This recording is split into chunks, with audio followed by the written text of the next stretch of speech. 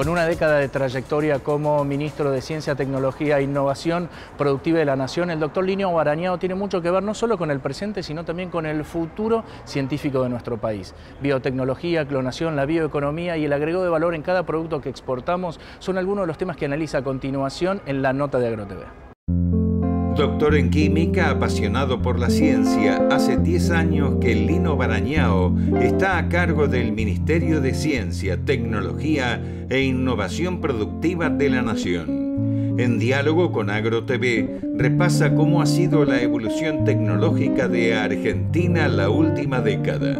Bueno, ha recuperado varios puntos en en los últimos años, tomando como dato numérico el ascenso que ha tenido el CONICET del puesto 152 a 62 entre las entidades a nivel internacional, lo que marca un nivel más que aceptable en todos los ámbitos de investigación. Realmente estamos orgullosos de haber contribuido a reposicionar la ciencia argentina en el contexto internacional.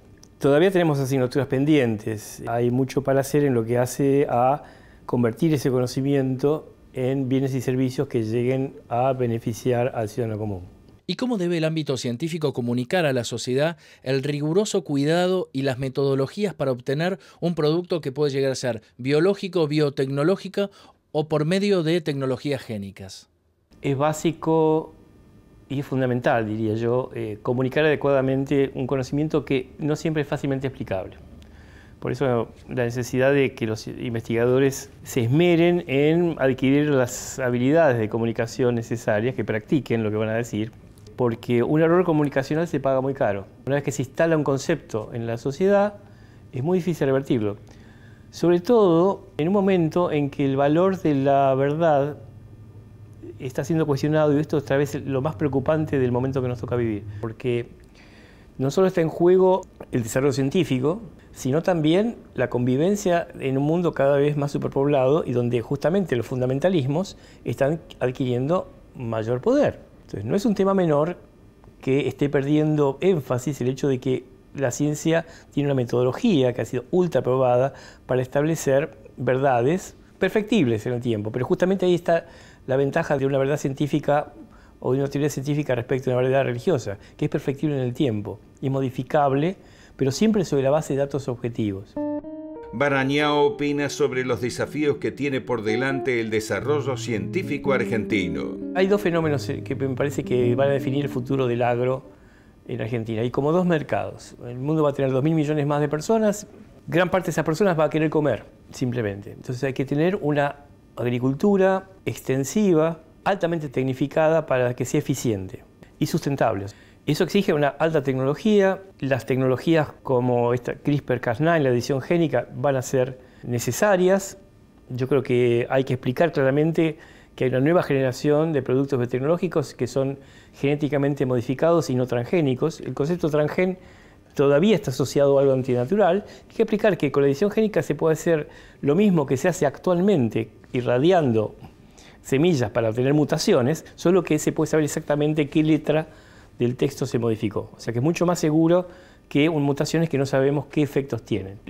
todos los vegetales que consumimos, los cereales fundamentalmente, son genéticamente modificados por mutaciones inducidas o naturales que ocurrieron hace años o y hace miles de años en algunos casos. No son productos naturales. El, trigo, el trigo, el maíz, la caña de azúcar no existen naturalmente, son productos de la tecnología humana. Entonces no existe tal cosa como ese producto natural primigenio. Y ese es el desafío de la tecnología, hacer una tecnología que haga sustentable la agricultura. ¿Y cuál es el mercado que puede pagar un precio diferencial por un producto que sea trazado y de alto valor? Paralelamente hay otro mercado que está surgiendo, que es el mercado del lujo responsable. Los individuos que quieren pagar más por un producto de mayor calidad, que quieren algo totalmente natural. Claramente hay un mercado distinto y hay un consumidor que quiere pagar eso y está dispuesto a pagar más. Y esto nos crea una ventaja muy atractiva para el país porque podemos ser un protagonista mundial de la producción de productos orgánicos. De hecho, ya somos el país con mayor superficie después de Australia, producido bajo norma de comercio justo, con una baja huella de carbono. Lo bueno de eso es que todo eso agrega valor que se transmite al precio y permite, por ejemplo, que un productor que tiene todo su personal en blanco, que emplea discapacitados y demás, pueda sobrevivir. Argentina va a poder sobrevivir sobre la base del bajo costo de la mano de obra y de la tecnificación. Entonces tiene que haber alguien que esté dispuesto a pagar más por un espárrago producido de forma ecológica, que de lo contrario, tarde o temprano, ese, ese procedimiento va a ser automatizado.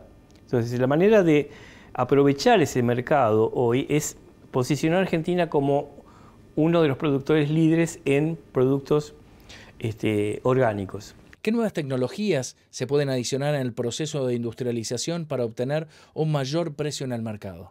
Hay un nicho que todavía no está ocupado o que es muy incipiente, que es el, el vegetal orgánico liofilizado. Liofilizado es el proceso por el cual se congela, se le saca el agua y conserva todas sus características. Y tenemos un producto que conserva las características, pero que no hay que refrigerar, tiene 90% menos de peso para transportarlo. Hay un estudio que le encargué a la gente de INVAP, que me hizo poner, eh, creo que es una tonelada de frutilla en Valencia, refrigerada sale de 300 mil pesos, liofilizada 140 mil. Estuve recientemente en esta cadena Whole Foods de Estados Unidos. 30 gramos de banana o de mango liofilizados valen 8 dólares. Eso haciendo el cálculo, si no me equivoco, son como 200 y pico de mil de dólares la tonelada.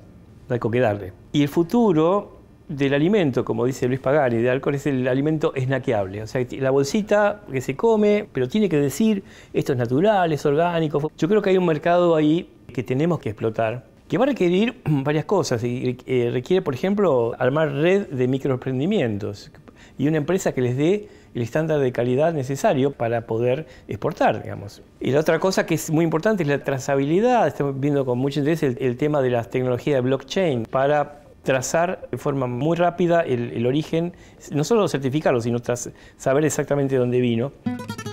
Para Barañao, la bioeconomía es un capítulo importante dentro del desarrollo de las naciones. Lo bueno de la bioeconomía es que ahora nos abre otras cosas en el medio, porque todo lo que antes era un desecho es un subproducto. Esto de la economía circular, de que de la cascarilla de arroz se puede sacar de silicio de alta calidad para los paneles solares, productos cosméticos derivados de la extracción del biodiesel, Digamos, tenemos una cantidad de cosas que tienen, hay una pirámide de valor que termina en cosas de muy baja masa y muy alto precio. La oportunidad para todos, no, solo es una oportunidad de negocio, es una oportunidad de desarrollo regional ¿no? y desarrollo humano. El ministro imagina el futuro de la ciencia y sus diferentes aplicaciones. Todo el tema de agricultura de precisión es, es el componente del cual yo hablaba al principio que va a garantizar la sustentabilidad y la, competitividad de nuestro agro. Ya es impensable no hacer uso de los datos que existen y ya esto está implementado. Grandes productores usan el software como el de Frontech antes de plantar, ya lo hacen sin consultar. Yo creo que no es lo que viene, es lo que ya está, digamos. Me parece que lo, que hace falta es hacerlo más accesible de última para que sea equitativo. Nosotros en la Fundación SO2 hemos desarrollado el portal Palenque, que, que es un servicio que permite al productor saber en su campo cuáles son las condiciones, integrar datos ambientales y demás. Ahora estamos tratando de interactuar con el servicio meteorológico para tener información casi en tiempo real. Yo creo que eso va a ser una necesidad porque el tema ambiental no solo es importante desde el punto de vista de la ética de la conservación, sino puede ser una barrera parancelaria. Entonces, si uno no demuestra que es altamente eficiente en el uso de combustibles, en el uso del agua y demás, eso va a ser usado para abrir o cerrar mercados. Además, en el sentido, tener un sistema científico mm, desarrollado y reconocido internacionalmente también es una necesidad, porque alguien tiene que validar todo esto. Es algo que ahora vamos a, aprovechar que ya este, el nuevo ministro de, Agroindustria está, está, asentado para tener en breve una reunión para consolidar un poco esta interacción que ya venimos teniendo.